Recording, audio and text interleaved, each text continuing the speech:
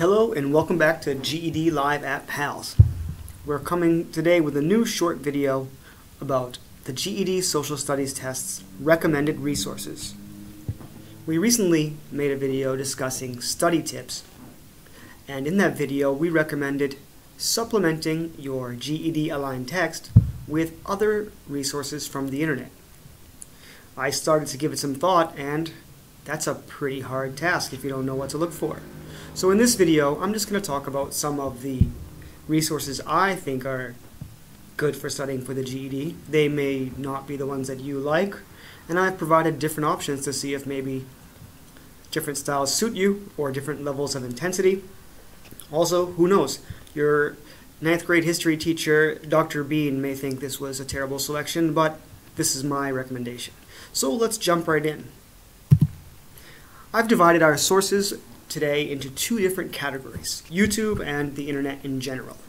I think that YouTube is a great place to learn stuff. I learned how to do plumbing on YouTube. There's all sorts of videos, but there are almost too many to choose from. So let's go through some of the best playlists and then some good choices for single videos. So I feel that Crash Course makes some of the best videos on the internet for getting a basic overview in an entertaining and engaging way.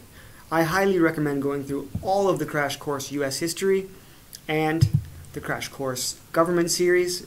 There's a lot of videos. There are a lot of videos, but they're entertaining and you'll find yourself going from one to the next in a YouTube binge. Do not start at 10 p.m. or you won't sleep. They also have a geography series. That's going to be a great way to get those geography skills up. Uh, I don't think that using YouTube alone is enough for geography, but it's a great place to start. And again, they're done in an entertaining, engaging way. Intro to Economics, again, Crash Course has it for you. Crash Course pretty much has an intro and diving deep enough to get started with all of these topics. Another series that I find is this knowledge, how do you pronounce it? Knowledgia? Knowledgia series. They have an American history series, and then they have some other series. I like this World War II one quite a bit. The AP series is going to go much more into depth. This stands for Advanced Placement. This would be what you would be studying if you were doing really well in a U.S. high school.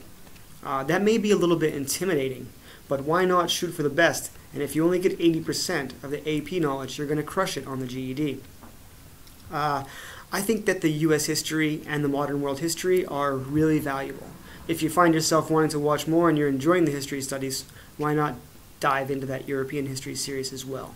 These are three great playlists that can get you complete deep knowledge on the subjects.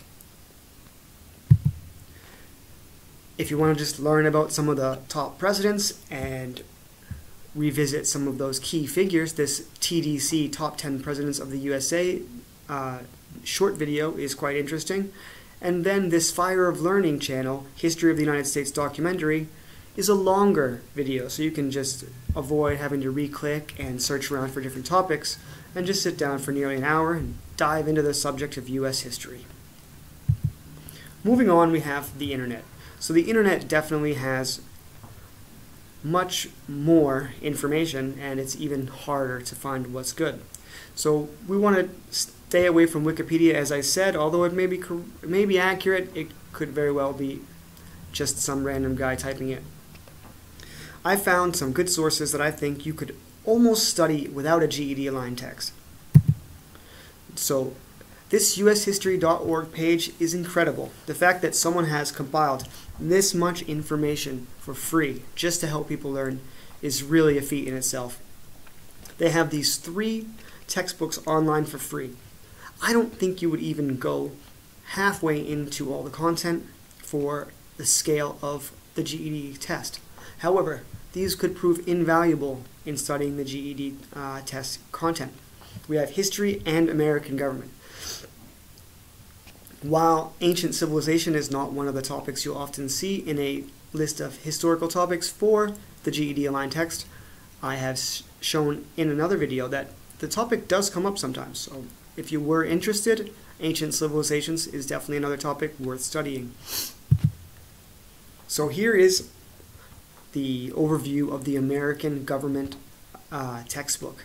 It has so much information, it may feel overwhelming. You can find a list of the topics online easily for the GED American Government and Civics. You could go into the table of contents and find information there. This is just a snapshot. The table of contents is much larger. But you can see from this list that it goes into extreme detail about all of the United States government. This is an incredible resource. If you knew how to use this resource, you could do it with this alone. You could study for the GED and not even need an aligned text, except for the fact that you still need to know the skills they're looking for. Don't forget, the skills for the GED test are actually incredibly important, not just the content and the factual based knowledge. This is their U.S. history textbook. Uh, they've cleverly outlined on the bottom how free their book is. Here are a couple snapshots of table of contents from that textbook.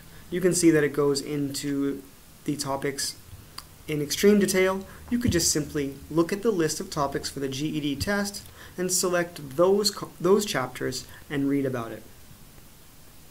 The good thing about the text-based uh, resources is that you can annotate it. Now with a free PDF editor, you can highlight in multiple colors. You can use text boxes to annotate your thoughts and ideas and link uh, content together. And then you can compile those in a very organized fashion.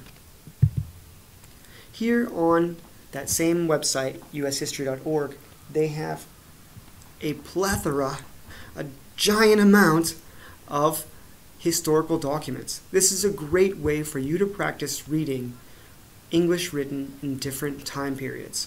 Also, on the U.S. history portion of the GED test, you may be asked to read a section of a document and infer or draw conclusions about that document. If you don't have much practice, it can be hard to understand how people spoke in the past. This is a great way to practice without the pressure in your own home. Another website that's very similar to ushistory.org is openstax.org. Uh, they don't just specialize in U.S. history, they have all sorts of uh, different topics for education and subjects such as math as well. That could help you on your GED adventure. But here I focused on the U.S. history portion. This is a snapshot of one of the chapters for the table of, uh, from the table of contents. Again, they go into these subjects in deep detail. They've also got these great little critical thinking questions and summaries and review questions. These are great ways for you to practice gauging your understanding of the content. Again, you don't have to go into in depth to the point that you're studying the Missouri crisis, but you can use this to just practice studying through the U.S. history topics and then check your understanding with those great little critical thinking questions at the bottom. If you just want to have a relaxing, near entertainment experience, and you've already read your GED aligned text, and you just want to review, the History Channel has all sorts of really interesting stuff. And they deliver the content in a pretty informal, yet informative way. I still read stuff from the History Channel for fun, even though I've studied all these topics, and it's great just to cruise around. Sometimes you can find new topics that interest you, and you can make connections between what you've studied for the GED and your daily life. So, looking for economics is a bit more challenging. Economics is a subject of its own which people study at a university level. I mean, if you want to go to college and study economics, there's plenty out there for you.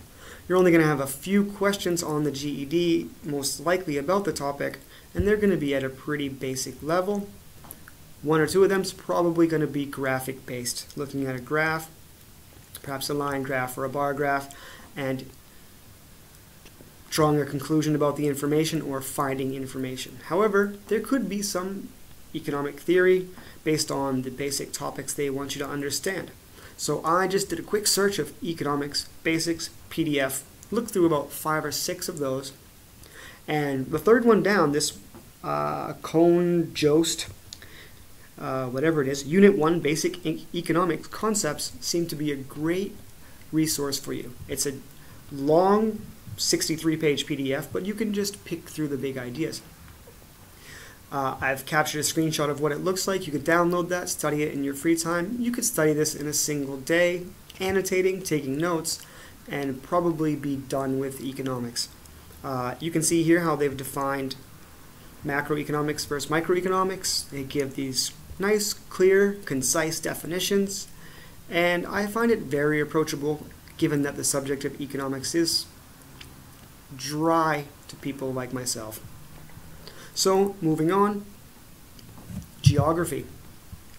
I've said it in videos before, I think that geography is a vital skill as an informed citizen and as a human being trying to interact in your world. So I, th- I think that every American studying for the GED or, not, and every human should be able to tell where the basic land features and oceans of the Earth are. If you can't find the Pacific Ocean on the map, it's pretty hard to vote for president. Basically, you can't understand the concepts or the policies that they're going to be discussing with you.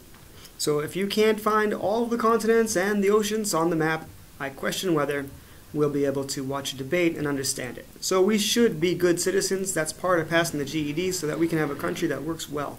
Study uh, geography to the point where you understand your world around you. You could do that in a number of ways. I think an easy, fun way to do it is just to go onto a game based website. I looked through a few. I thought this World Geography Games one was pretty interesting. I tested my knowledge at the World Geography in the Americas, and I was not disappointed. Uh, however, when it came to Africa, I was fairly uninformed. So this is a great way to test your knowledge and build upon it. It is pretty much memorization, so you can just gamify it. How well can you do this time? Next time did you improve? Uh, also, I find that this website, PDF Drive, though not entirely user-friendly, and it looks like it's somewhere from around 2002, it has a ton of uh, textbooks and other articles, etc. on it. You can find just about anything you want if you are diligent enough and you're searching. Uh, searching through geography alone, as you can see, I found that the first one, World Geography grades 9 to 12, would cover just about everything you need to know for high school and definitely for the GED test. In all this studying, it is possible that you could find you enjoy it. It is possible that you could find that it's a lot of time and you don't want it to be only for the GED test itself. You could study these topics on some online learning platform, a MOOC, such as Khan Academy or Coursera, and at the end of it, you could have yourself a little statement of accomplishment. Some of these also have payment options where you could get yourself some form of a credential. So I just was curious what sort of options were out there, so I searched Khan Academy and US History. There is a track for that. Then I searched economics. Maybe we're going to study economics in the future. Maybe you want to go to college and be an economist. Why not kill two birds with one stone? Anyway, that's just a thought. I thought I'd throw it out there for you guys. So that's the end of this video. As always, I wish you the best of luck in your studies, and I hope that you can have a little more success weeding through all of the information on the internet with these a bit of tips. Take care.